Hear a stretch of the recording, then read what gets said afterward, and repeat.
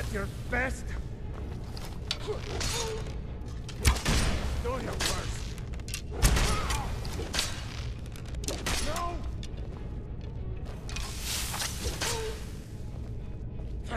Not the best you can do.